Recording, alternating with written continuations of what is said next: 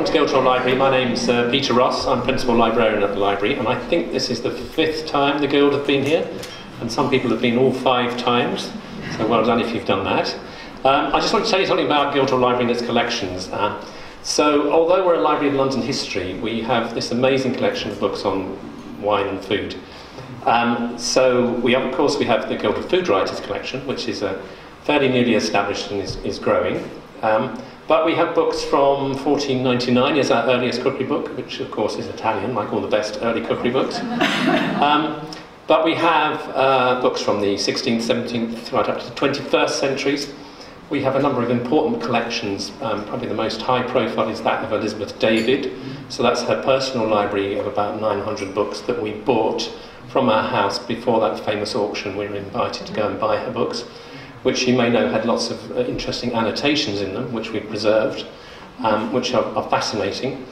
We also have, uh, more recently, uh, the library, or part of the library of Arabella Boxer, um, who's given us um, part of her library, and the rest will come after she's no longer with us, um, which includes her research notes for her articles for Vogue, etc. The latest collection we've received is that of Evelyn Rose, which arrived, it, I, was, I was told it was going to be about six boxes, it arrived in 20 boxes, uh, which my wonderful colleague uh, Chris has been spending about six months sorting out uh, and is now about to be catalogued. Um, so that includes her, um, her archive of research as well as um, her articles, her books, etc. So we have uh, a number of interesting collections, but what we, what we don't have is enough people coming to look at them. Because essentially, a library of London history shouldn't necessarily have collections like that. They've evolved from the 19th century onwards to remarkable people in the 19th century, two men who were caterers to the City of London, collected antiquarian cookery books in the late 19th century and then gave them to Guildhall Library. And then the Cooks Guild gave us the collection. And then Andre Simon gave us a collection, and it's just grown. So we now have, I used to say 10,000 books on wine and food. Uh, I think it's now about 11,000 and growing. So we've decided to limit that collection in some way. So I've made the decision to limit it to food from the British Isles. That doesn't mean we wouldn't collect books uh, by important writers from uh, world food, but if I collected everything to do with food in the world, and you know it's the most popular subject in publishing, I would have 10 million books rather than 10,000. Um, so uh, it's really nice that you're um, here again, and I'd like to pass you on to Hattie, who's going to introduce our speaker. Thank you very much.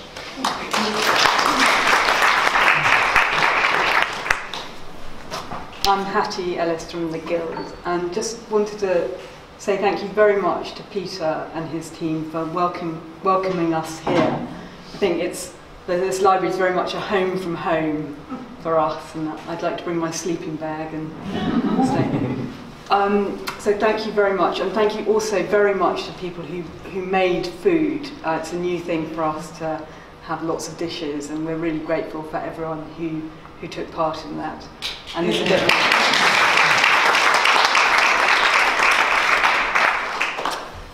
So we it's a, a, delight as well as um, a privilege to have our speaker here today, Ivan Day. Uh, probably lots of you in this room know him already, but uh, suffice it to say, he's a world authority on historic food. Uh, behind exhibitions at the Getty Museum, the, the Metropolitan Museum in New York City, and many places in the UK. And uh, also the inspiration behind uh, Heston Blumenthal and Ashley Palmer Watts and Dinner. Um, and for many, many food historians. What's so special about Ivan is he, he, he doesn't just sort of get it off the page. If he sees a spit, he goes and makes it and tries it. Um, if he hears the, the story about how a, a syllabub's made from a cow, he goes out and gets a cow. so he, uh, his level of detail and knowledge is extraordinary. And, and the food, resulting food is delicious because historic food, where does it come from and how do we know about it? And so we're very pleased that Ivan is going to uh, help us through to this other country of, of the past. Thank you, Ivan.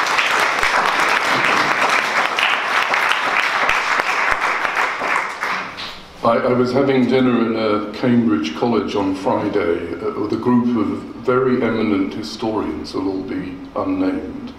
And the gentleman sitting on my left was an emeritus professor of history, and his subject was the history of agriculture in antiquity.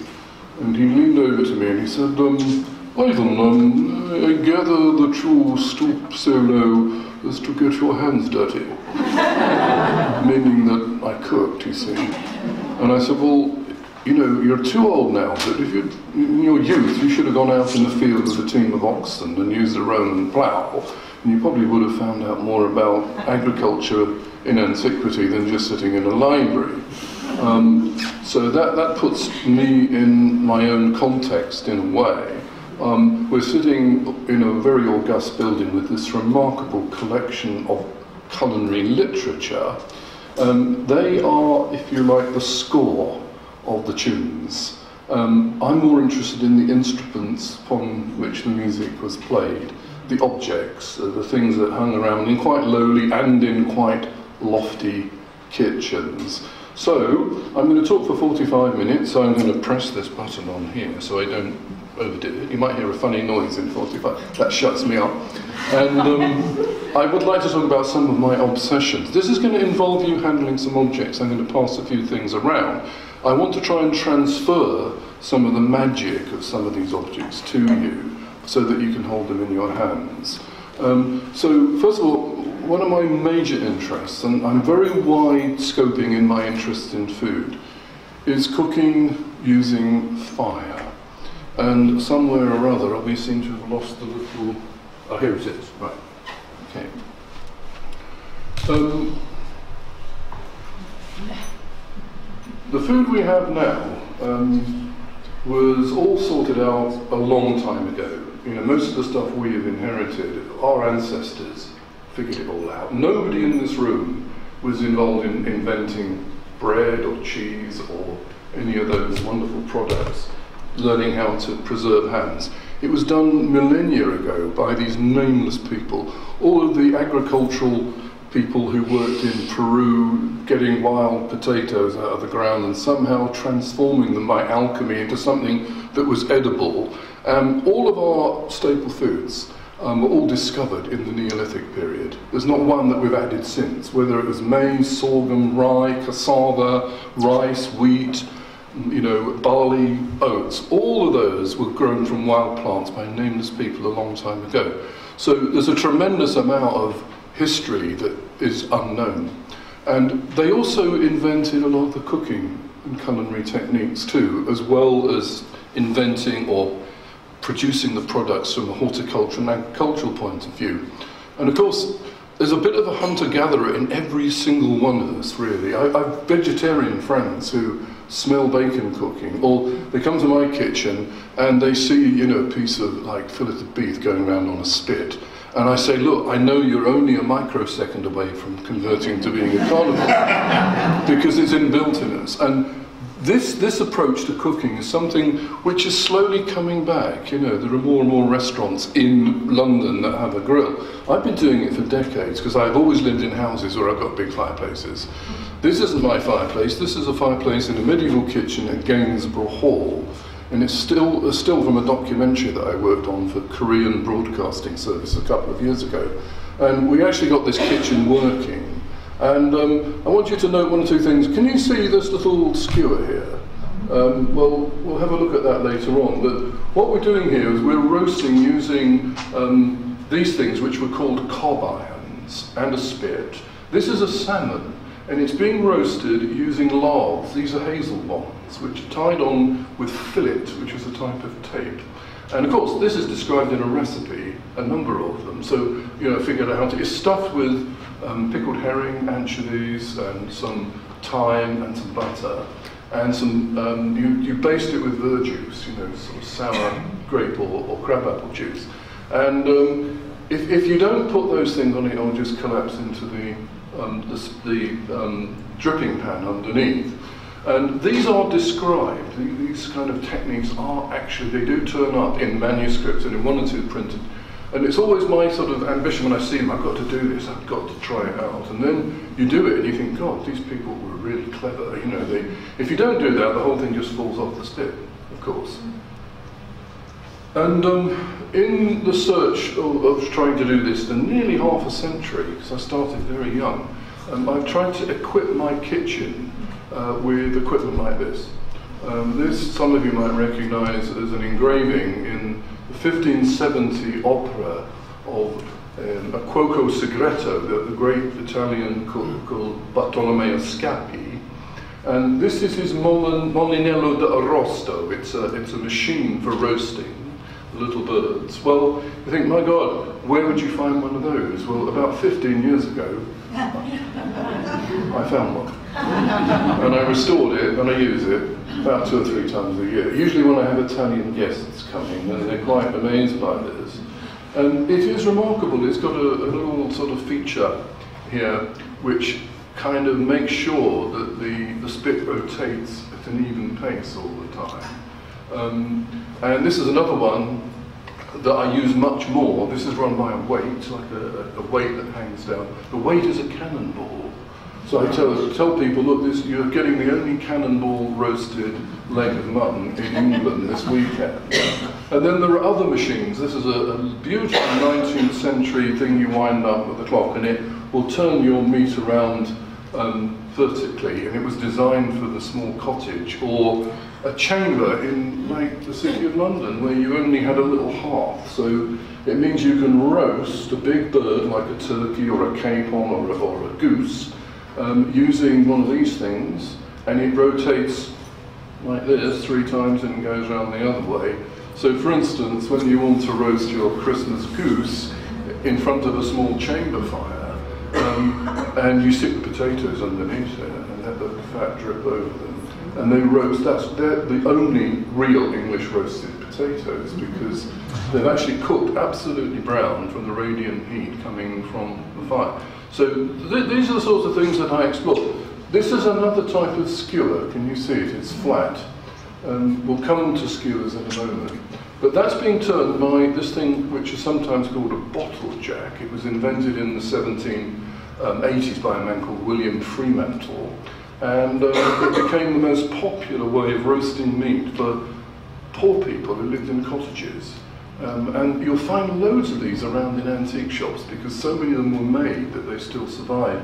The more complicated ones, like the Italian one, that's the only one I know in existence, the one that I've actually got operating in my kitchen at the moment.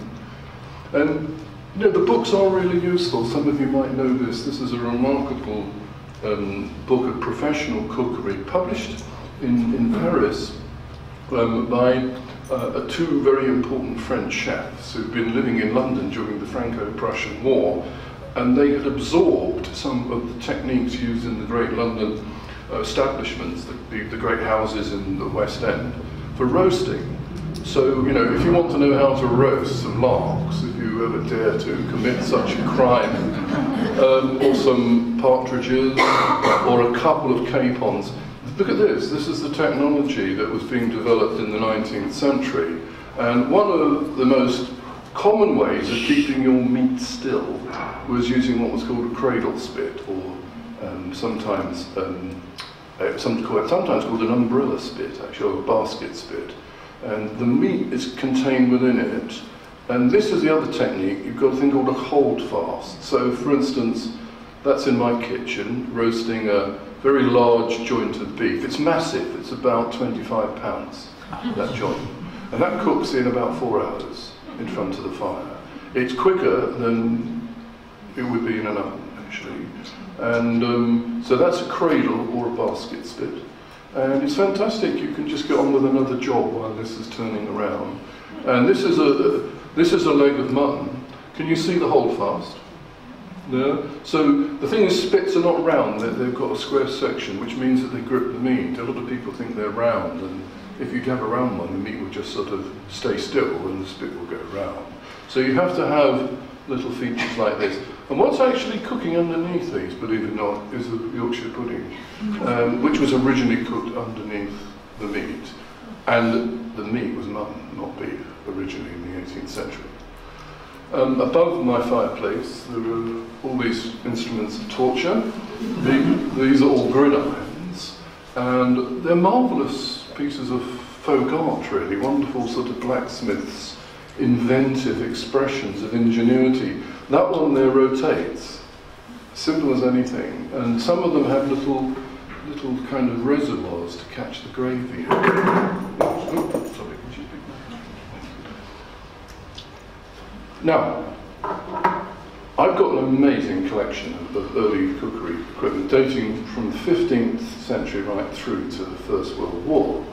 But there are lots of things that are old and you can't use them. For instance, there are hardly any surviving cook's knives. We've got rusted away sort of things that have been dragged out of the Thames, you know, sometimes.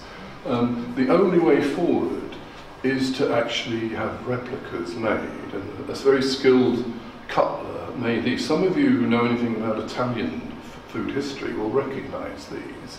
This is the complete set of knives that were illustrated by Bartolomeo Scappi, who also provided the illustration of the D'Arrosto earlier on. And if you look at these, if I flash back, you can see that um, they're all there. And the voyage of discovery with these is quite extraordinary because First of all, let's take these two up here. We can tell from the caption that they're for opening oysters. When the cutler made them, he wasn't sure about that, and he unfortunately gave them a very sharp edge, which they wouldn't have had. They would have been a blunt edge. Um, and I said, oh goodness me, can you take the edge off because they're going to be deadly? You know, trying to stick that in an oyster and then yanking it through.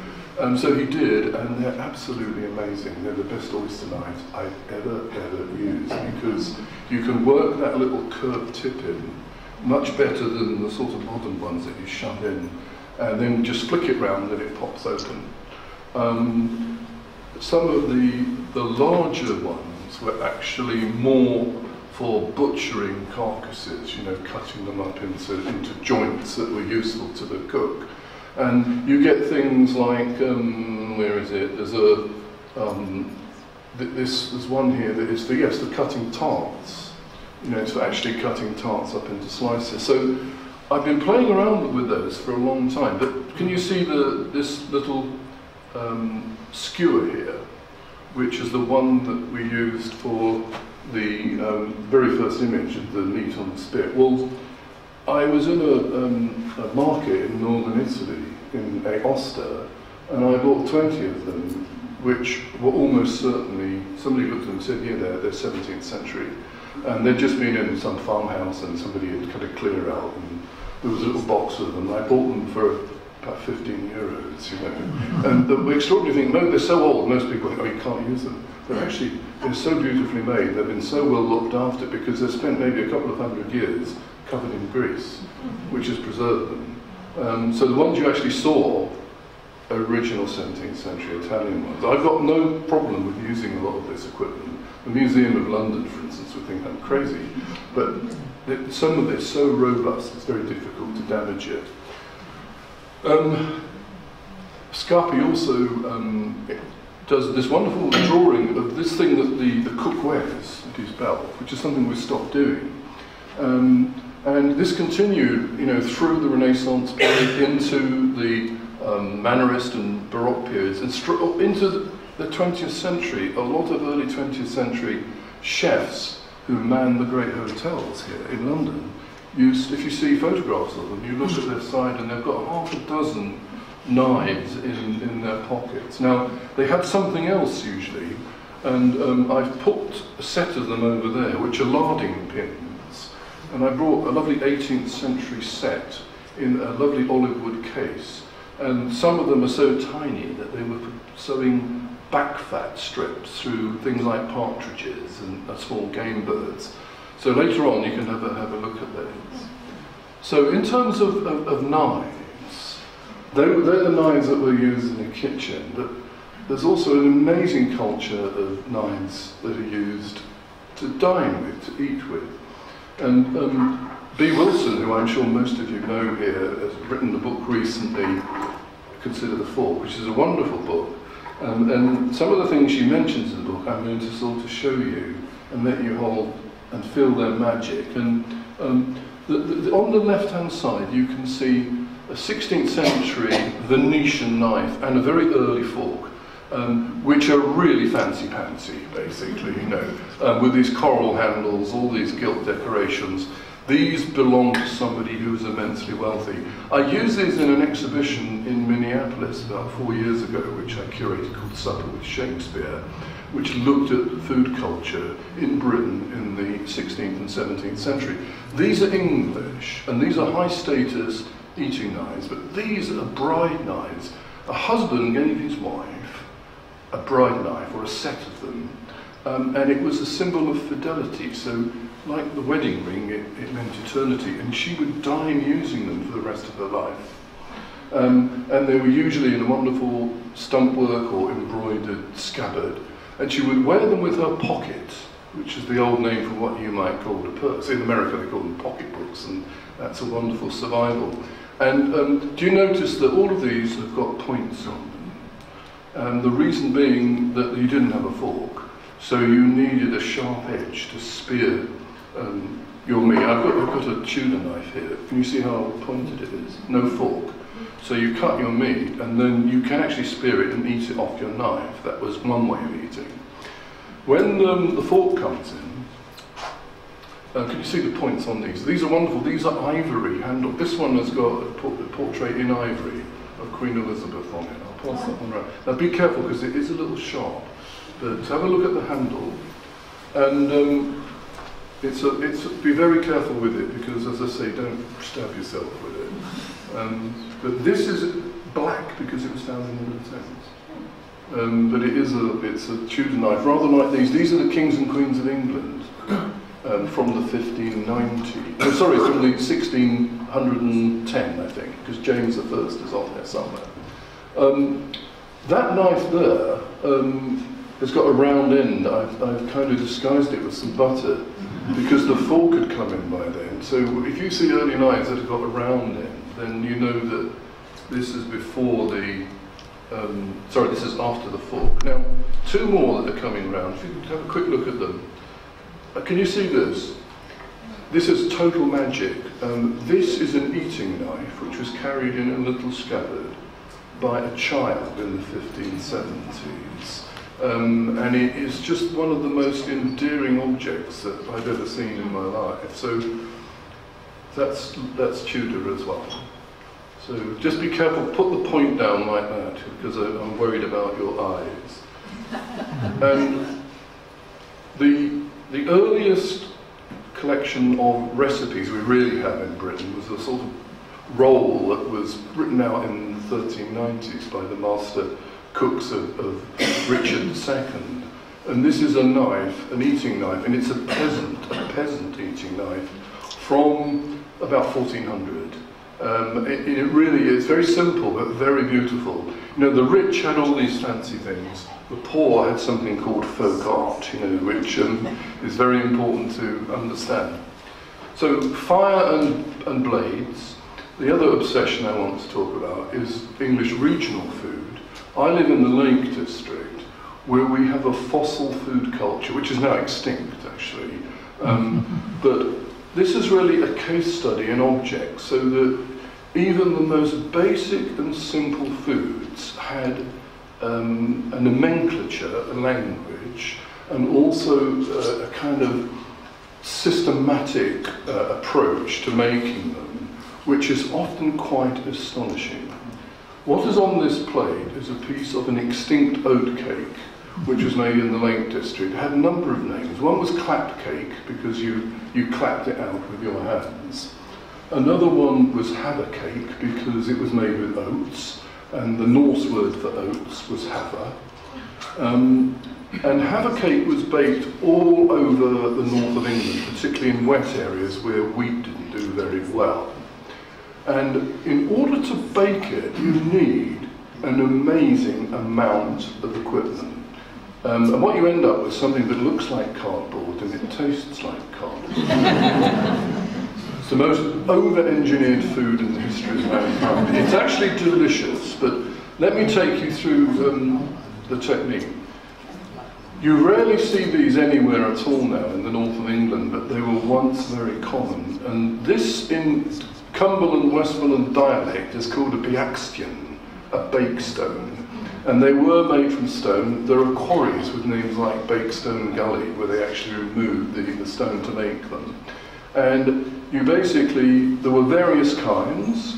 Um, if you didn't have a, a you had one of these things, which is called a girdle. Okay, that's still a name that survived. But you put the girdle over another piece of equipment, which is called a brandreth, which is like a little tripod. And you made your clap cake by mixing boiling water with oatmeal, very fine oatmeal. And then you use this. This is called a backboard um, or a bake board. And it was described in the 1690s by Celia Fiennes, who says that they always had a little concave dip in them. If you put a rolling pin on that, it wouldn't work because it deliberately goes in. And how you used it was you drove out your um, dough as thin as a, as a poppadom, if you could do it. And this is an English poppadom rather than an English chapati, you know, because it's going to be baked crisp. So in order to make this, you need either a, a backstjan, a girdle and brandreth, you need a backboard, and the trouble is, when you, you clapped it out, so you got this repetitive strain injury called Havercake hand after a while. and, and some joker invented these pins, which resemble others that made a particular type of biscuit, but they found that if you used a pin like this, it didn't stick because you're rolling out porridge. You're literally rolling out thick porridge. And it doesn't stick if you use one of these. And then it's such a fragile thing, you have to get it off the backboard with one of these things, which is called a thigh. When you put it on your biakstian or your girdle, you have to scrape this thing underneath it. It's called a spittle, in order to stop it from sticking. And then when it's cooked on both sides, there's one cooking on a girdle there, can you see? It's then transferred to a brander, which is this thing here, which dries it out, and then you put it on an easel which is called a Havercake Maiden. so you've got about 10 processes before you end up with your sheet of hardboard. You know? now, this is just one of a family of now extinct breads that were common throughout northern England. I think I'm the only person in Britain who goes to the trouble of making it. And despite the huge investment in getting all the stuff together, um, it is worth it, it's delicious. And if you make it with a roller, it looks a bit like this. Now, there is another type which is soft. And this looks exactly like a chamois leather, and of course it tastes just like chamois leather. And you go to an equal amount of trouble with an equal number of different gadgets in order to make this. Now I could talk to you all evening about just this bread, I'm not going to. But what we have is this submerged part of the iceberg, which is what I'm interested in, which is our forgotten food material culture, the culture of objects, which we've forgotten how to use. Um, and they supplement the recipes so much sometimes, you'll see that shortly, um, that it's a joy to actually recreate these. By the way, this is not a washing thing, you know, you hang up your washing. This is called a havercake fleek. it's actually got a name, there's a number of names for it actually, but um, and you hang them up and they will become crisp in about 24 hours. Uh, otherwise, this is a soft version, so this is more like, a, can you see all the little holes in it? There's a more like a crumpet or a pikelet because it's been leavened with some, with some yeast. And of course, this is more closely related to Yorkshire um, and Lancashire oat cakes. Um, I'm particularly interested in pastry, and this is an area which, um, again, a lot has been forgotten about. And um, I'm going to pass something round which is really quite special. Um, I'm coming back to one of my favourite authors, um, Bartolomeo Scappi. And what you see sitting on an actual page of the Scappi is this thing here. Can you see there's two of them there actually? These are pastry jaggers from about 1570. So this is a this is a, um, a pastry jagger which was being used when Titian was still painting. You know, um, it's um, a Renaissance Italian uh, colouring object. I know, I own two, and there's two others. There's one in the British Museum, and there's one in the V&A which has its wheel missing. And I think the two I own are the only complete ones in Britain, as far as I know. Um, but can you see the wheel at the end? Well, that's for cutting. You can cut.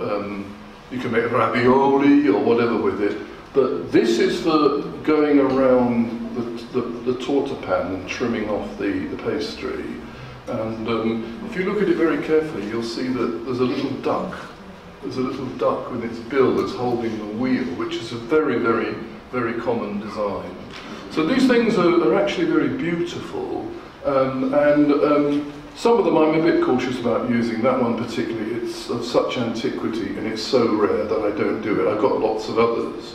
And I'm going to pass another one round.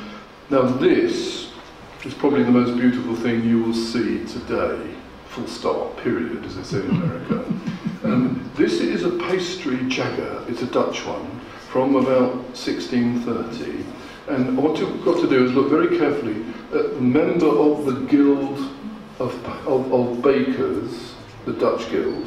Um, we're in the city of London, surrounded by all these amazing livery companies, but here you actually see a baker with a rolling pin and his guild uniform on, and hanging from the rolling pin is a sheet of pastry. So sometimes they tell a story which is more about their utility. It's also about the, the kind of story. Um, that, that is one of my most favourite objects in the universe, actually. You know.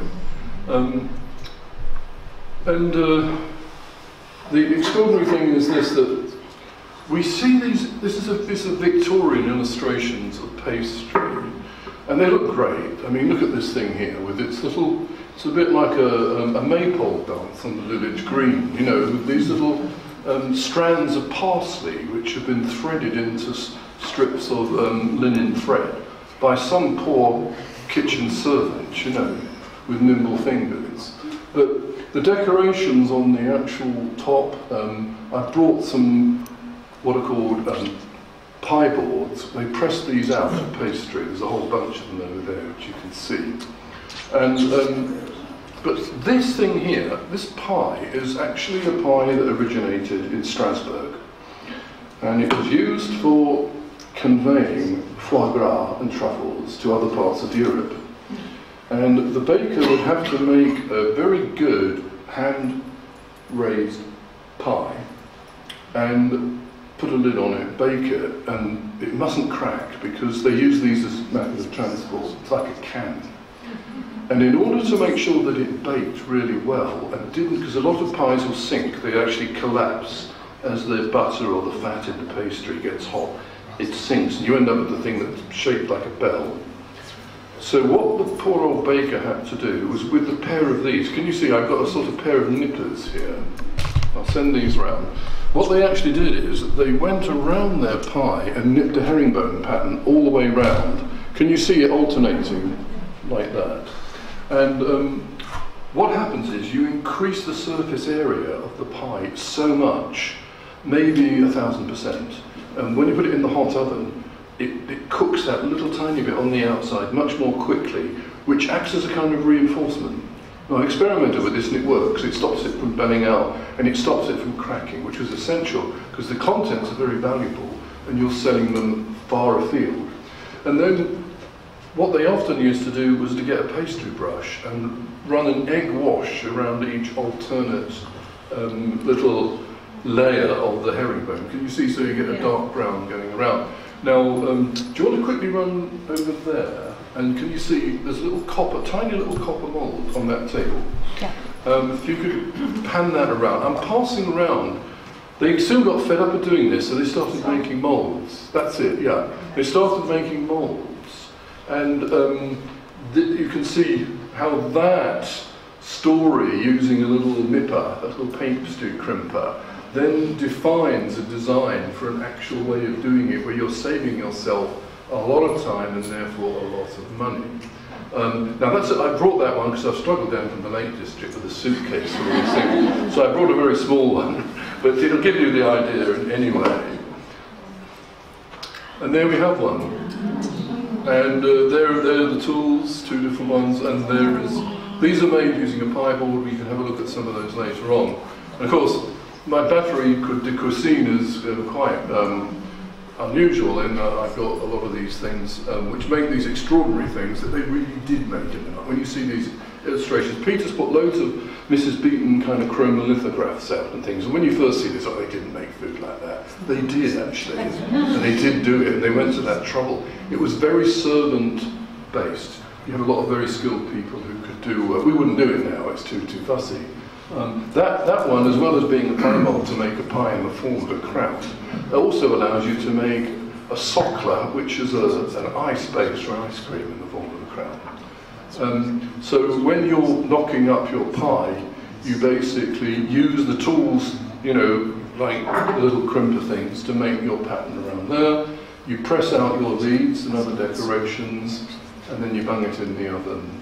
And uh, you, some of them are beautiful, absolutely stunning. And that's what you get at the end. And there is actually a, a, a chromolithograph. On, can you see it? On, no, it's a little black and white print on the end, which is just like that. Um, and um, these were made, and they were made very skillfully by these people, and baked in ovens like the one behind. You can see, which is in that's my kitchen, by the way, at Christmas.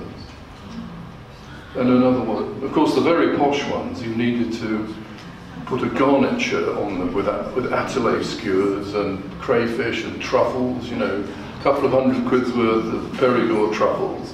And there's another 300 quid's worth inside the pie, usually, you know, in today's money.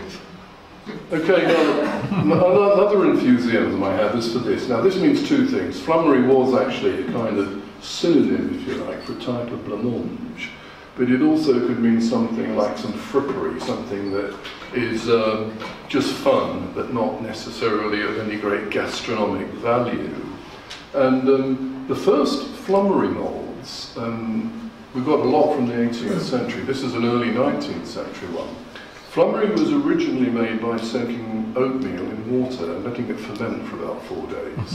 and you end up with something, you boil it, and you end up with something that looks like wallpaper paste. In fact, it tastes like wallpaper paste as well. uh, but if you set it a bit longer, you could put it in a wet mould and turn it out, and you got this, which is a dairy product that is really the forerunner of blancmange, except you're, you're actually setting it with oats rather than gelatine or whatever. Um, and during the 18th century, um, there was a craze for making these moulded desserts. It's a bit like a panna cotta, really, you know, probably not as nice. Some of, some of them are okay. They tended to be flavoured with floral waters like rose water and orange flower water.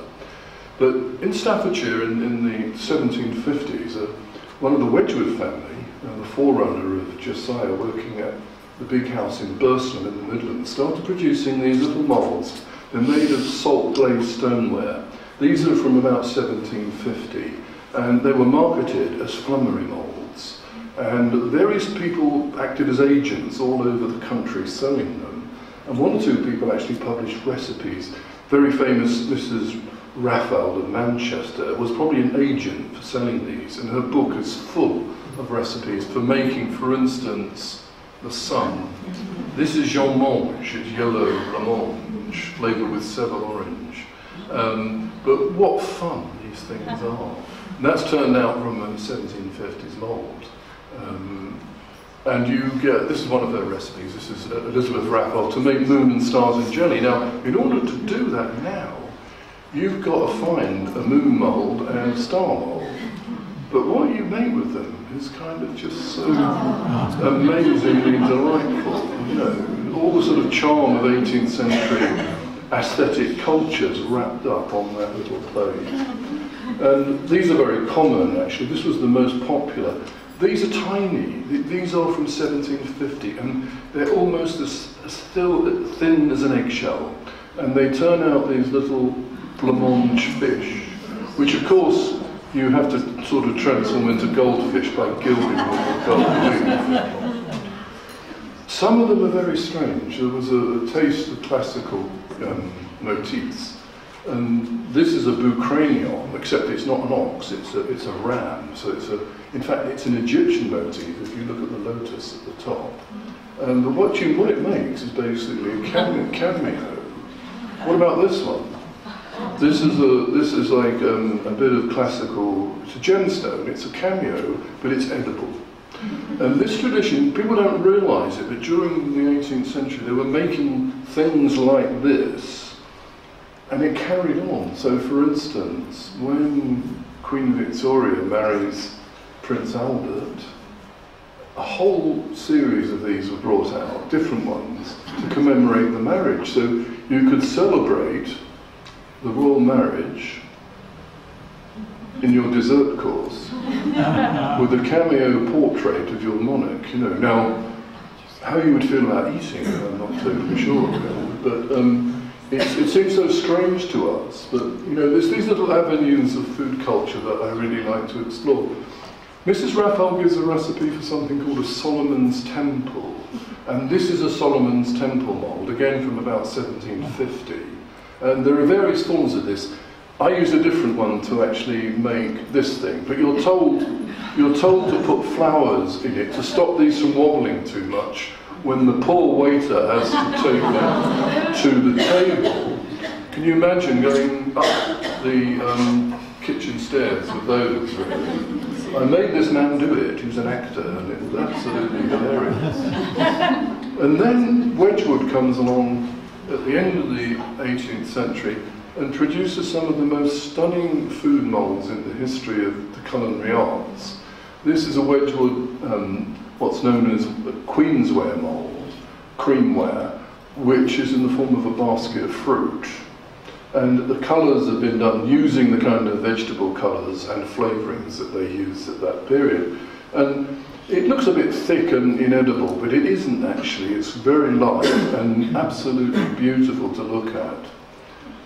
And then the other thing that I love doing is by using objects and looking at them carefully and comparing them is getting rid of a lot of food myths. Like for instance, in Central Europe, this is known as a Kugelhopf mold, and it makes, or a Bundt mold in America, you would probably say.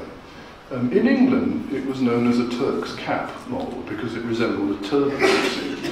And if you go to Vienna or to Salzburg, they will tell you that this originated at the time when um, Leopold I was fighting the Turks back from the gates of Vienna. Rather like the croissant story, you know, that it celebrated the Ottoman um, invasions and their defeat. Um, so there is a beautiful, this is actually a very early one that does date from that period, from, from about 1690, and it is Austrian, and it's hand chased. The, the craftsman who made it was really very clever. These are very common, but most of them are more recent. This is a really early one.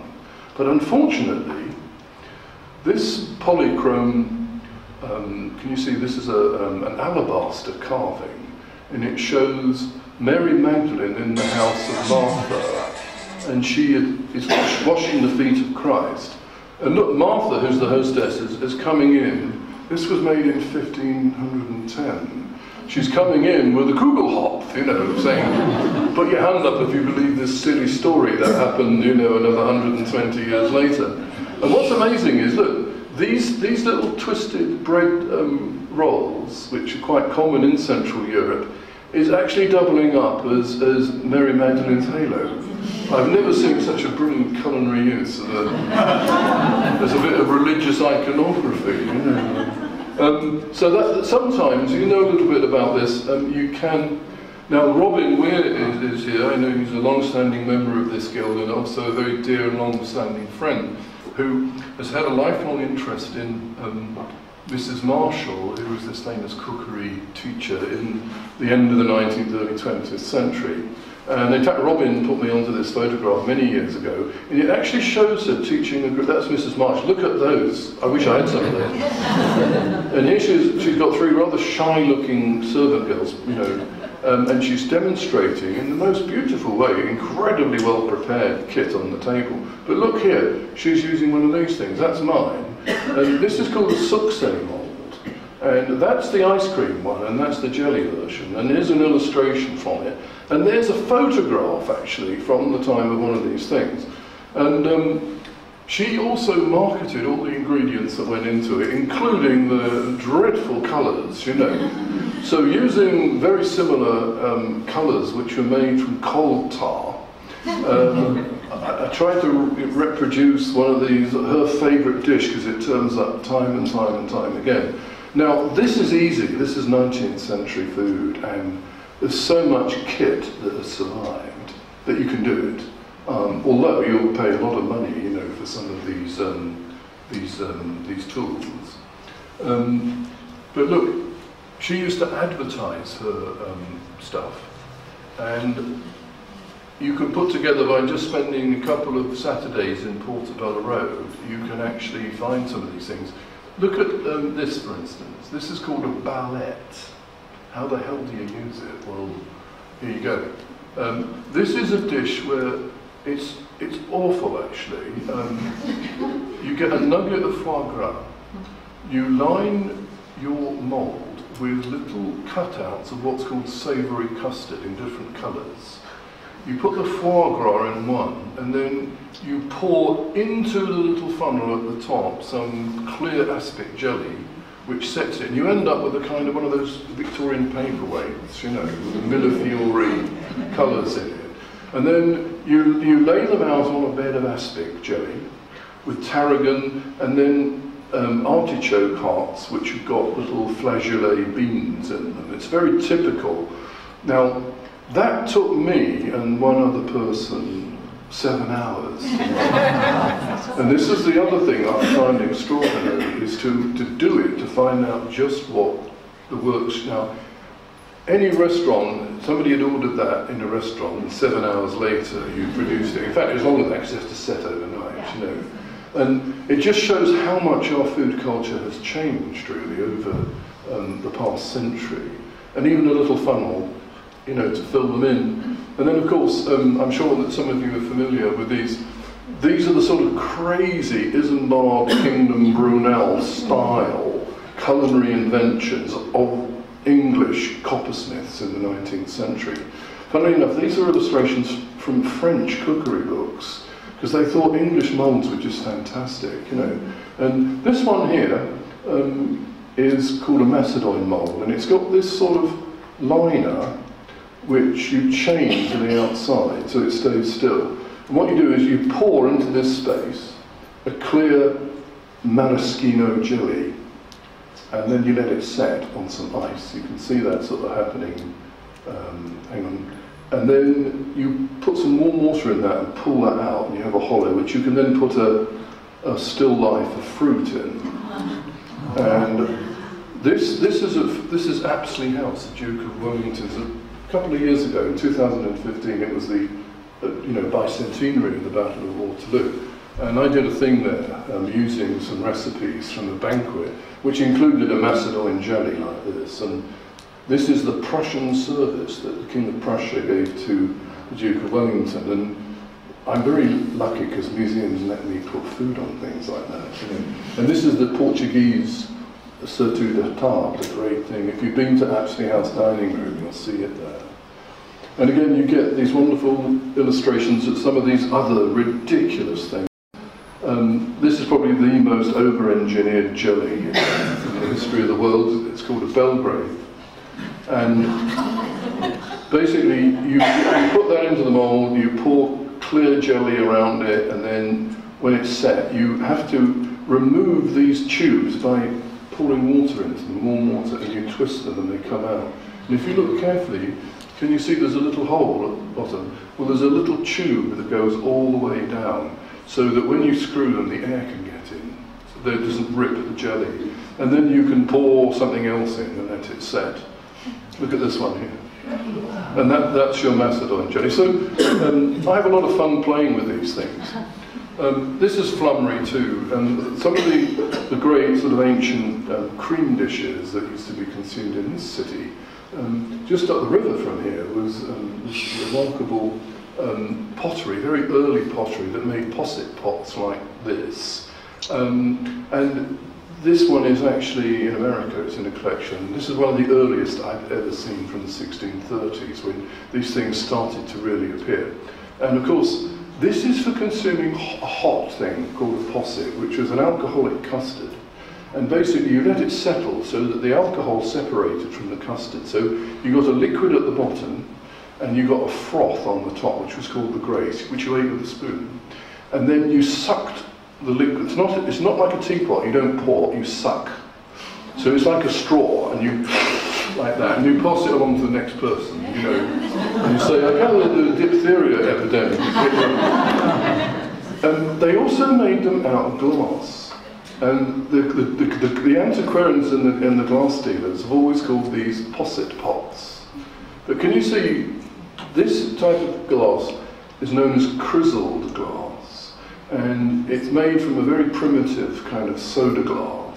And sometimes this happens to it after a, a number of years. But it will also happen if you pour something hot into it. If you pour hot liquid into one of these early posset pots, they would have cracked. All this would have happened. They were not designed for that. This is not a posset glass. That's a posset pot. This is a syllabub glass, which was a cold dish, and again it separated into liquid below and, and cream above, and was used a bit like this. So there's one, can you see the liquid? Just suck up that and you get it, and then you, you have that at the end, you eat the grace with a spoon. And this is an individual serving, it's a small one rather than a communal one. The communal one went out of fashion for probably quite obvious reasons. And then they stopped having the spout and they started making them more like a jelly glass. But can you see the funnel? It's like a trumpet. That's me to shut up, actually. But I'll, I'll just, I'll keep going for a little while. You don't mind, you? so basically, you've got a trumpet end, and what you do is you make this separately with a with a birchen whisk, and then you float it on some sweet wine. And because it's got the bell, that doesn't sink down into the liquid. So this is the sort of next stage in the evolution of these things. Now again, with my dear friend Robin in mind, I'm going um, poach his territory a little tiny bit. Um, although I don't know whether you know this, Robin, this is a photograph that's terribly blurred because I took it illegally in the Imperial Collection in Vienna. And it's the Emperor of Austria's ice kitchen in the Royal, um, the Imperial Palace in, in Vienna, um, probably in the early 20th century. And can you see this chap is stirring some ice cream in a sorbetier? And these are molds that are just about to be filled, and you can see lots of equipment in the background. And they're all standing on wood, wooden trestles because they're working in the, in the absolute dungeons of the building where it's really cold. And um, the, I've had a lot of fun sometimes with Robin. We've actually done a lot of this together. Um, but it's, this is sort of 19th century, it's a bit like, you know, Christmas cracker novelties, little ones, you know. I mean, who would ever dream up now an Egyptian obelisk and made ice cream? Or a cucumber, you know. Um, and you get these advertisements, you know, for asparagus and cucumber. So, you know, th th these are hanging around still. They're difficult to find, but there is a lovely cucumber mould. There is the recipe, and that's what it, and what it looks like. Not terribly appetizing. Um, and then it's quite revelatory when you actually turn out one of these large ice. This is a water ice made in a mould that creates a basket of flowers. Aesthetically, it's, it's actually evolved from the Wedgwood. You know, the one I showed you with the basket, same kind of, I kept on bouncing down the centuries. And that's what that produces. And if you leave them in a bucket of ice and salt for three or four hours, you have to wrap the mold up in brown paper and seal it so the saline solution. And, but when it comes out, if it's in the summer when all the leaves are certain, there's a high humidity, within about five minutes you get this remarkable rime frost forming on the outside. Look at this little raspberry tart, unbelievable, gherkin. Um, and they're very hard. In, in, Italy, in the late 17th century, we get the first descriptions of these, and they're called pezzi duri, hard pieces. And in the 19th century, they would often form a centerpiece for a dinner. So when you got to the dessert course, which might be two and a half hours later, they hadn't completely, they, was, they were just right to eat, because eating ice cream when it's ice cold is, is a fool's errand, really. Um, and then, of course, um, you get this is a great story. This is an 18th century design for a, an ice cream mold to actually make an asparagus tip. and this is Mrs. Marshall's wonderful chromolithograph, and basically, this is what you can do with these things. Um, so that's ice. And um, spice is the next thing, which has always been an obsession of mine. And I know Jill Norman is here a wonderful um, book about this. Um, gingerbread um, is something I'm really interested in. And in fact, um, where is it? Um, I want to, there's a big thick mold over there. Can you see? It's the, thick, the, most, the one at the back that's really high. No, just on the table. This one. Yeah. Yeah, could you send that? Yeah.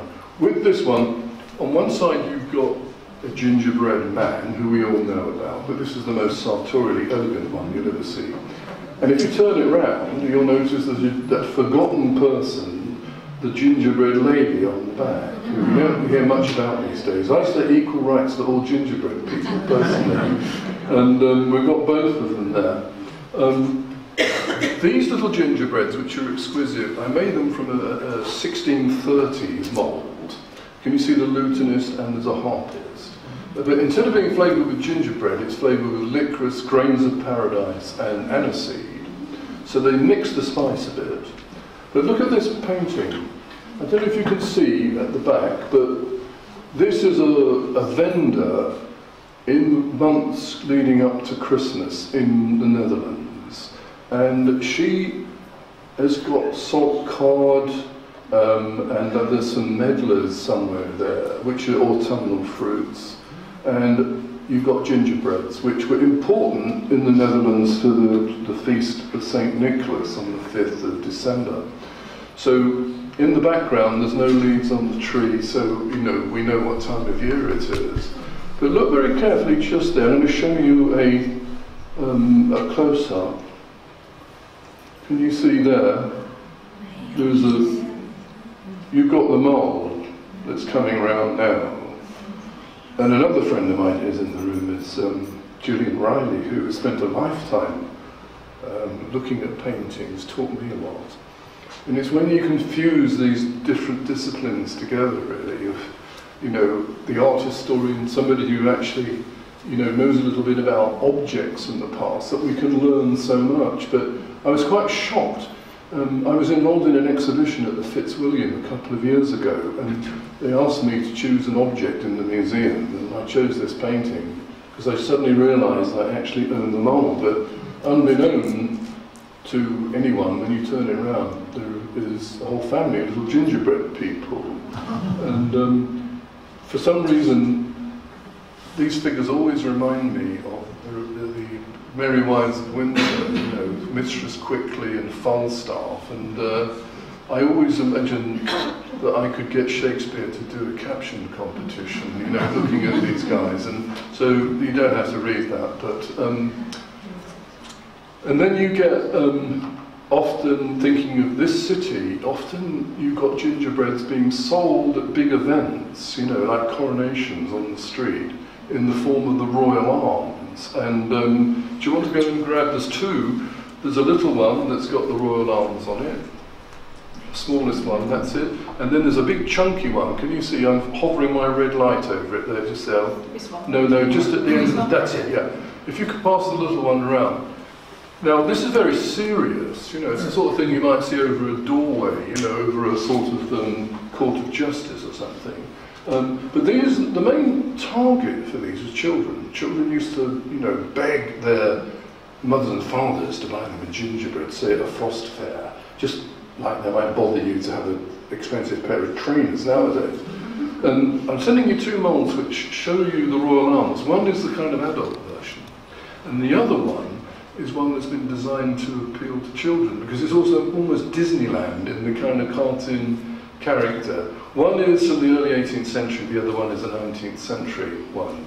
Um, and finally, finally, um, I'm probably best known for what I do with um, the history of sugar.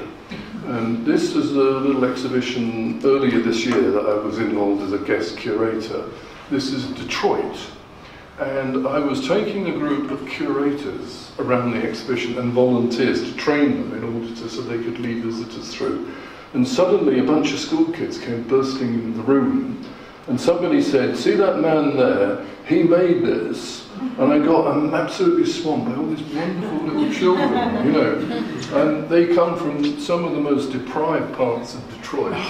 And they were just so captivated by this. And there was a little boy somewhere at the back who was a little bit naughty.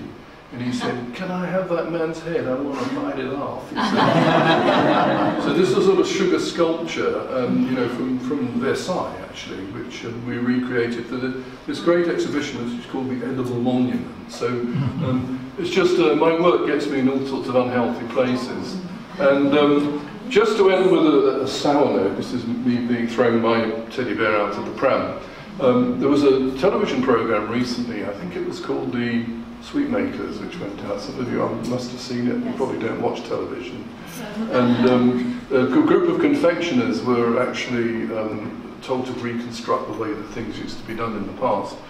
And I just had to turn it off after five minutes because I thought, oh no, this is awful. And um, so the same company a year ago said, Ivan, would you teach some of our people to make a 12th cake and ornament it? And I said, sure. They came up and I made them something like this. and they decided not to use it for some reason. And um, I thought, because you honestly, you're only interested in seeing people fail because they had these professionals making things, and of course they couldn't do it. Made great television, you know. I think people would be more interested in actually seeing things at work, you know. And on the, subject of sugar, um, you know, one early sugar confection, of course, in this country were suckets, which were preserved peels. And you can see here variety. There's a citron there, a cedro hidden away under bitter oranges, lemons. And these are um, candied almonds in the full sheath, you know, when they're on the tree. You see them in Spain and Italy. We used to make them here too. And that's what you ate them with. Uh, this is a sucket fork. That's a silver one. There's lots of silver ones because they were very posh. But the, the last object I'm going to pass around, don't steal it please, it's one of my favourite things, is actually a very low status sucket fork because it's made of something called latten, which is a, a copper alloy. And it had previously been tinned, but it's been buried in the ground. And you ate your sticky bit with the fork, and you drank the syrup with the liquid. I mean, anything to do with confectionery has always fascinated me. And um, one of my favourite tools, I haven't brought it along because I've got about 15 of them. I've got a whole set of Renaissance wafering irons from about 1400 all the way through to the 1700s. And um, they're so heavy, I, I never struggle all the way from Cumbria. But what you can make with them are these most just delightful looking wafers, you know, with these extraordinary, beautiful kind of Baroque patterns on them. And this was a thing that you always had at the end of the meal, usually with a glass of spiced wine, um, as a kind of echo of the Eucharistic thanksgiving at the end of the meal. So I thought it would be appropriate to have a little quasi-religious uh, moment where you can see some wafers, although unfortunately you can't taste any of these things. But what's been great is Hattie's rallied all of you people to provide what was actually a lovely um, panoply of historical dishes earlier on. And so I'm going to say thank you. And um, I don't know whether the Guildhall Library wants to kick us out fairly soon, but I'm going to shut up now. And, uh,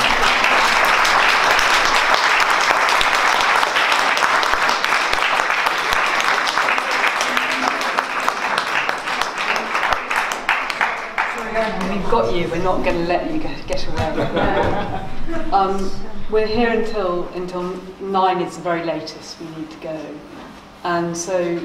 Um, could, could we ask you some questions? Absolutely, it's always the best bit. after a while, we can go and drift off and have another glass. But questions, I think, mm-hmm. would be great. Certainly. Would you like to chair this, Hattie, so that yes, you know? Yes. yes. is, uh, is the word griddle a perversion of girdle? Yes, Is that, it's a, the same root word. Yeah, it's exactly the same thing. Yeah.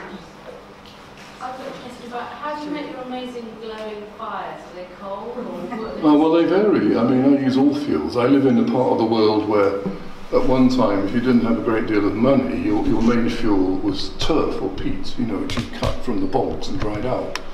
And um, that was very much a subsistence fuel in the more sort of marginal areas, particularly of the north.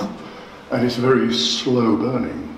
So you can't roast in front of turf, but you can cook slow stews and things. So the kind of traditional skinks and stews of Ireland and Scotland were defined by the fuel that most people could afford. You know, so I, I burn it sometimes. I actually also use it to smoke fish with, rather than wood. You know, um, but I burn wood. Um, every now and then, and three times in my life, and possibly again next year, I've roasted a full ox in front of, you know, fire 29 hours to roast it, using seven tons of birch and well-seasoned ash. Um, so, you know, they, they understood fuels, but of course, you know, the, the, the, the thing that revolutionized food in this country was the fact that we're sitting on a huge pile of high-grade coal. And during the 17th century, the hearth started to change because, especially in areas near where you could source it, um, and it has to be raised up because you have to have an underdraft. So people started cooking using coal. Um, it's not very good for cooking over. You know, it's not much good for using a, a, a, a griddle over because it will it will actually flavour the food very unpleasantly. But the, the kilowatt hours you get thrown out from coal means it turned out to be actually, strangely enough, the best fuel for roasting in front of. And this was used in France as well, particularly in northern France and in Parisian hotels in the 19th century. It seems counterintuitive because you think, oh, no, the food is going to taste awful, but you're roasting meat three feet in front of the fire sometimes. You know, this whole thing about bringing it in close and getting a nice kind of crust on it and then moving it away is not right. They didn't do that. Um, doing it, you discover that the nuances are quite extraordinary and a lot of understanding of fires and you know their alchemy and how they pushed out heat and the best parts of you know for instance when you put a piece of um, meat in front of a fire and it's a big joint you'll find that the middle cooks first because the radiant heat comes in straight lines.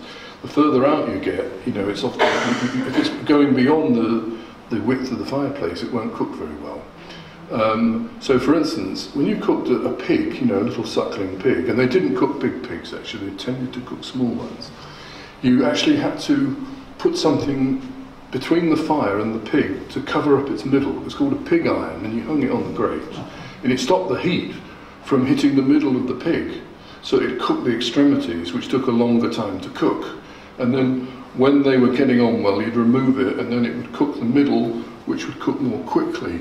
Um, so tremendous amount of understanding of fuels. But I use everything, and because I live in the north of England, I mean I have I have a range which was designed to burn coal, but they also burn coke, which is a better fuel because there's no fumes off it, and also it, it burns at an amazingly high temperature, and charcoal too. So you know all these fuels were really really important. Sorry, long-winded answer. Yes. Um, going back to your huge sugar sort of pièce montée, would, would you say that developed from a sort of politi- uh, from a political? Totally, totally. Yeah, I mean, um, in the medieval period, and a lot of people now just forget how religious people were.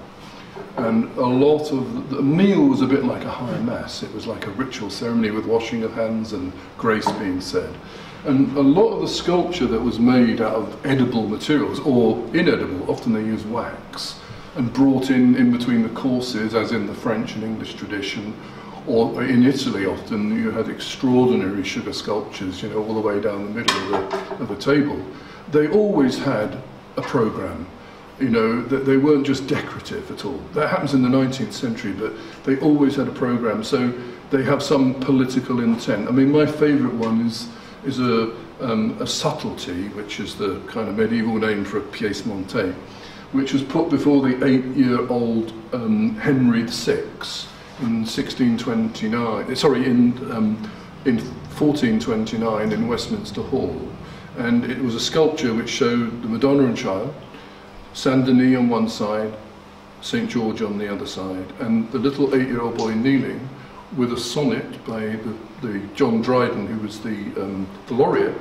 And it, the, the poem says, um, you know, Madonna and child, you know, blessed Mary, Mother dear, um, I claim to be the King of England, St George, and of France. Do you agree with me? You know, and his father had won the Battle of Agincourt, and on the table is this thing. We've actually made things like this, um, which is basically a pretty crude political statement, you know, of kind of territorial intent.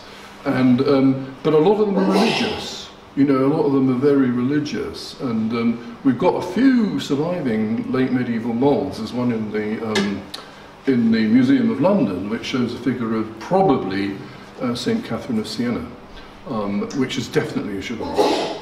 Um, so often the meaning is tied up with all sorts of events that have long been forgotten about. Yeah. Whereas in the 19th century, I mean, there's an amazing photograph I've got of a, a 1900s London omnibus made out of sugar. That's purely fun. But earlier on, they were quite serious. And sure, that one, if we go back to it, I think you're talking about that. Yeah. Okay, uh, this was designed by a French, um, well, he illustrates a man called Menon, who wrote a lot of books in the middle of the 18th century. And um, this figure here is Circe from um, Homer's, you know, Iliad, and she's turning um, Odysseus's men into swine, um, which is a kind of allegory of greed. So you've got a group of very learned, kind of, you know, French aristocrats have all had a kind of classical education. They've just stuffed themselves with an enormous amount of food, and then they start discussing the centrepiece, and they realise it's taking the piss out of them. sorry, I'm not talking into the microphone. Um, sorry, are there any other questions? Um, just the, the gadgets used in making the havoc Yeah. uh, were they used for anything else as well? Or were they, because that seems like an awfully complicated way of. Yeah. Well, you have to remember that it was not only just made in households, in farmhouses, but also by professionals. And uh, they needed to be fully kitted out. And they're very specific. I mean, I, th- I showed you the tip of the iceberg, you know. I've got a thing called a Havercake scraper, which is for making a special type of Havercake called scrape cake. And it's a squeegee. It's a bit like a squeegee, but with two little nails sticking out just a tiny bit. So you get your dollop of the batter, which is a leavened one. It's bubbling with yeast, and you you hurl it onto your um, your backstone, and then you pull the squeegee along like that, and it makes it perfectly the same thickness all the way along. It's about that long. You get a great big long thing like that, and uh, it's a very simple thing. It works absolutely brilliantly, and it means you can make these long oval ones, um, which are full of bubbles. They look like very thin crumpets and they were best eaten soft. But that's scrape cake, and that is such a specific thing that you can knock one together in five minutes with a bit of wood and a couple of nails. So some of that equipment is, is quite simple. There are hundreds and hundreds of surviving Havercake maidens, you know, these easels. They were sometimes made from wood. I showed you one there that was also made out of wrought iron. And um, they, they, you could do toast on them as well if you wanted. You know, they, they, they could be utilised to make something else. The, the, the Havercake rollers, um, they did other things with those for sure because um, there, was, there was a type of biscuit that was also made which had that pattern on it. Um, so yeah, but in the, in, in the main, they were the specialist tools of a very kind of particular craft, really. Um, of course, the main thing, the backstone or the girdle, could be used for making hundreds of things. And of course, you know, everything from drop scones to girdle scones, um, which you still can buy in some Scottish bakeries. Um, and of course, you have to remember that people who didn't have ovens, the only way they could often cook cakes was over the fire.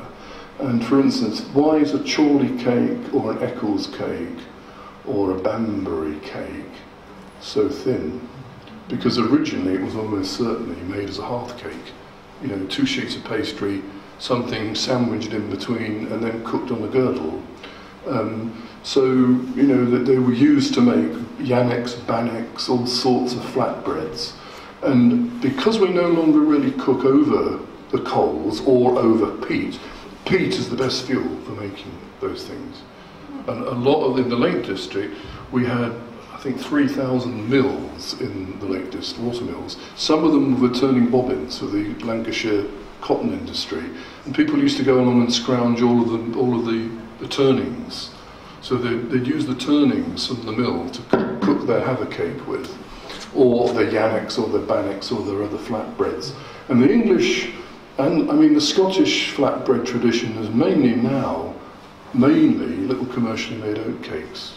Um, in Lancashire, the wonderful oat cake tradition has practically, well, it has died. In Yorkshire, it's practically gone. In Derbyshire, it's still alive, but it's a bit different. It's more like a pancake. And in Staffordshire, it's really alive. That's where you get some of the most extraordinary things. Um, but they're a ghost of their former selves, really, because a lot of them were made by professionals, especially in mill towns. People didn't have the time or the equipment, so they go to the shop and buy them. And a lot of the kit that I showed you was probably from professional makers rather than domestic people who did it as a you know a daily chore. But you know, do you know about the the have a, the, the havercake hurling machine at all? okay, um, there was a there was a machine that was invented to speed this process up. It made soft oat cakes. And what you did, you filled a hopper full of batter, which was a mixture of water, oat, very fine oatmeal, and yeast and salt.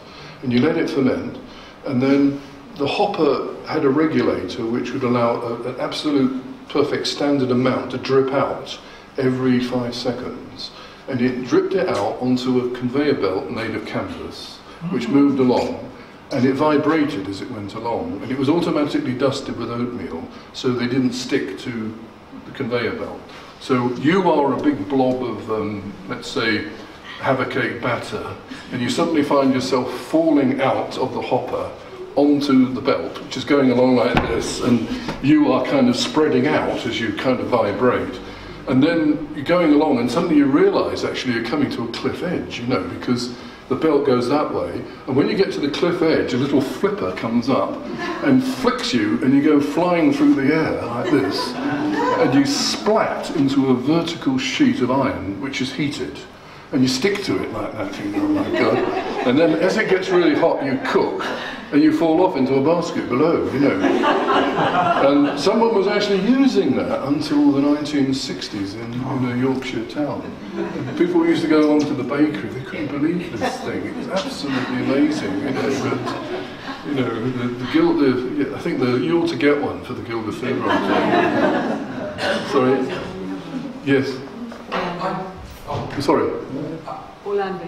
Um, a very quick question. With the, with the roasts at the beginning, you had things tied up. What did you use to tie them up that didn't burn? Well, this is one of the great sort of things that's really interesting is that people, oh my goodness, the string will burn. It doesn't, actually.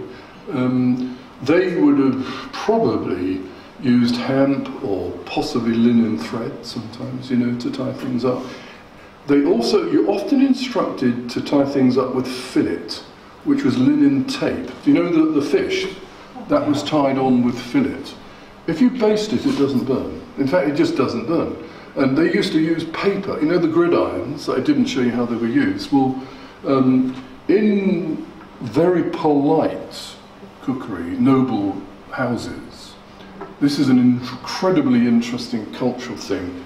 They didn't like the taste of the fire on the meat. So, you know, if you put something over the barbecue now, we love that kind of, you know, carbony, burnt, greasy flavour, which, you know, is fantastic. But it didn't appeal to very refined tastes. So I think in Scappi there is an instruction to make little paper cases to put things like cutlets in. And you put them on the gridiron and they don't they're not cooked in the direct heat of the of the wood or the charcoal, and they actually don't have that taste on them because the paper acts as a mask. You get it in even in northern England as well, where they did sometimes use coal, um, and they'd let the fire die down so there was no tarry fumes coming off, and it's really bright. Cool it down a bit, put a gridiron on, and make little paper cases to put kippered salmon in. And again, you don't get the flavour of the fire on, on, on the meat. So roasting was the most expensive type of cookery because you've got to make a bonfire, and the expense is not so much the animal, but the fuel because you're burning like tons of wood for the course of preparing for a big meal. So roasting is done away, it's not everyone thinks you do it over the flames. That's not what was done at all. They did it in front of the fire. And you get fantastic radiant heat. And it's a clean type of cookery. I remember Heston, you know, he came to me and he said, Ivan, you know, I want to do this roast pineapple you showed me to do, you know, and put it on the menu. And I said, great. And he put it on the menu, and I, I went there, I think, um, with um, Richard Atkinson. Is Richard here? I think he was coming, but maybe he's not. Oh, sorry, Richard. Do you remember that lunch we had with Heston? And they were roasting those pineapples, which they still do there. And um, Heston had concocted this amazing thing where he was putting little drops of um, smoke essence in the syrup. And I remember as we left, um, there was um, somebody collecting a very, very expensive looking cashmere coat, you know. And they got it off the thing. Could, they were smelling it, and I walked off down Knightsbridge, you know, like a thousand pound coat on, going like this. Because the whole restaurant was permeated with the smell of. And that was wrong in a way, because that, that kind of thing was not flavoured with smoke. I'm sorry, Nicola, you've been. Well, just absolutely related to what you just said. Um, mm. Could that be why some people used to recommend wrapping venison up in a paste for roasting it? Yeah. I mean, and did they do that with other meats as well? Yeah, certainly with venison. Um, what Nicola is talking about, uh, the, the standard way of, of roasting venison was actually a pasty on a spit. You, um, you put your venison, which you usually larded with back fats because it's very dry. Um, and you then wrapped paper around it, tied it on with some string or some tape, and then you rolled out a big sheet of, of, of pastry which didn't have any shortening in it, just hot water and flour. And you wrapped it around the venison, and then you put another sheet of paper around that to hold it all together. And then you stuck it in front of the fire and slowly rotated it and what actually happens, I've done this a lot, the, the, the venison eventually gets the radiant heat, start, it cooks inside what is a hermetically sealed um, paper and pastry thing. And um, when it is cooked, you, you sort of cut open the pastry and you get a tsunami of the most delicious gravy you've ever had in your life. And the, the, the meat is like marshmallow, you know, it's cooked um, in, a, in a wonderful way. Um, the other dish, which is an unusual one, in which that technique was used, was swan. Um, swan is, uh, well, it wasn't really swan, it was cygnet. They didn't eat swans, they, they ate cygnets. I gave a talk earlier in the year about this, but um, they would actually put a sheet of um, back fat over its breast and then a sheet of paper because it would dry out very quickly. And of course, it was roasted in front of the fire. But even with a big joint of beef, it's got a fat, if you take a sirloin with its bone in, it's got a big sheet of fat around it. That burns very quickly. So you use paper again, and you would tie it on or you would pin it on, and the whiteness of the paper reflects the heat back to the fire so that the fat doesn't cook too quickly and it doesn't burn. And then at an appropriate strategic moment, you know, towards the end of cooking, you remove the sheet of paper and then you then brown the fat. And it's these nuanced approaches to, you know, it's a little bit more subtle than barbecue man. You know, these, these people kind of understood what was their everyday way of cooking, just like you switch your gas cooker on. They, they, they did it as in such a familiar way that, you know, so.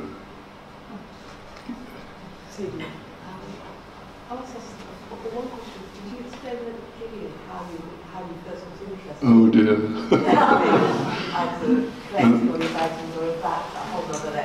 well, no. How I got started actually was more Peter's. It was books. Um, I bought my first antiquarian cookery book when I was 13. Um, while all my friends were listening to the Beatles, and I wasn't really into that. I, I was into the fashion of the period, actually, it's a fashion story. I spent two weeks scraping the barnacles off my father's boat and then painting it for him, and he gave me a tenner for two weeks' work, which is quite a lot of money and when I was 13, back in the early 60s. And um, I bought a pair of Levi jeans with the money, which cost me £3.99. So I had sort of, you know, £6 and, you know, one penny left. And um, I went to a boarding school, and we weren't allowed to wear things like jeans at all. They were totally verboten. But I came up with a ruse with a friend who had a pair as well, and we got on a train and went to the next town about 20 miles away, got changed on the train, and walked into this unknown town like a couple of real dudes in our new jeans. And it started to rain very heavily. I mean, the, the, the, the raindrops are like 100 watt light bulbs, and we very, very quickly got really wet. And we were seeking shelter somewhere, and this changed my life because we, um, we saw a door and ran into it, and there was a shop and it was a it was a bookshop. It was an antiquarian bookshop, and there was a gentleman in there with some sort of half moon glasses, and he was glaring at these two wet schoolboys as if we were devils. He didn't want us, and the shop was pretty high. It was like a Bond Street bookshop. Um, and I realised he didn't want us there, but I thought he's not going to kick me out in the rain. So I pretended to be interested in some books, and I pulled down this beautiful kind of limp vellum binding with wet hands and I could see these laser beams coming out of his eyes. He wanted to destroy me. So I went over to a little hospital corner where they were rather broken, and I picked up a book, and it just fell open on a page, and the page was to bake a lump. It was a cookery book, and underneath it it said to broil a lump, to fry a lump. And I said to my friend, look at this, this is, what's a lump? We were giggling. He came over, and by that time, we'd moved on to even richer kind of uh, parts of the book because I came to the section on, on sucking pig. And of course, this is pre 1800, so the long S, you know, which started off. So you can imagine a couple of giggling schoolboys. And he said, What are you doing? He said, Look, I know you've come out of here out of the rain, so get out of my shop. And I said, No, no, no, um, I'm very interested in this. And my dad used to take me to auctions. so I said to him, What's the best you can do on this? It says, it says 15 shillings. I'll give you 12 and 6. And he said, Come on then, let me see your money. So I produced this very moist fiver out of my pocket. And he took it and he gave me the change and he said, I'll wrap it up for you. He says, You don't really want this. It's a very expensive way of getting out of the rain. And I said, No, no, I collect them. I lied. we went back to school on the train and I forgot to change into my school uniform and realised that when I got off the train, I rushed to the toilets on the station, got changed into my school uniform, put my wet jeans into my duffel bag. But somebody, a sneak prefect, who actually looked a little bit like Michael Gove, actually.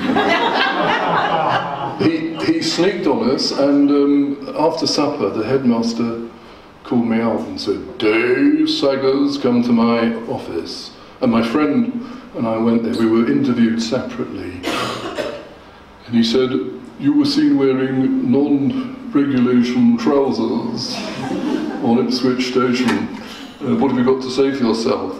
And I said, It wasn't me. No, no. It must have been somebody else. And he said, Well, we found these in your locker. And it was my wet jeans. And I said, Oh, please, what are you going to do with them? He said, Oh, they will be destroyed, you see. So they were incinerated. And I still, I still think this is very unfair. But the, the, the, the, the kind of booby prize I got was the book because I couldn't put it down. And then when I went home, I had to try out some of these recipes. And that's absolutely true. That's how I got into it, completely and utterly by accident, you know. Uh, come on, we must have you some of the, the most august food writers in Britain. Come on, do you tell me what a lump is? Somebody must know what a lump. No, you're roasting it. You're broiling it. Lumpfish? Yes, a lumpfish. Well done. I knew there'd be somebody who had the answer. a lumpfish. Yeah. They make a very cheap kind of fake caviar from the road nowadays. You know lumpfish? When you search for your So without giving away his his Well- yeah. And then are you competing with other people? Not now, and I had no competition really. Maybe Robin for ice cream equipment, you know. Um, but we've always got on together and we don't fight about it. Although I'd once been down the Portobello Road and I turned up at Robin's house and I bought myself a, an ice cream mold which was a little boiled potato, a new potato. So he made an, an, an ice cream out of, you know, or, or sorbet. And I showed it to him and he said, oh, oh, come on, he said. He went to his cupboard and he, I had one about that size and he came out with this potato. and he said, my potato is bigger than your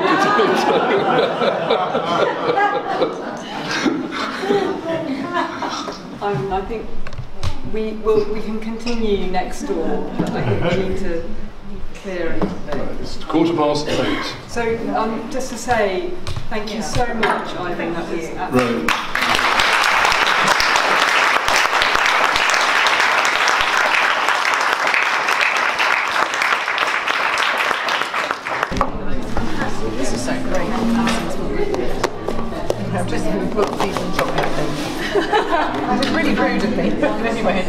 It's not. It's It's quick.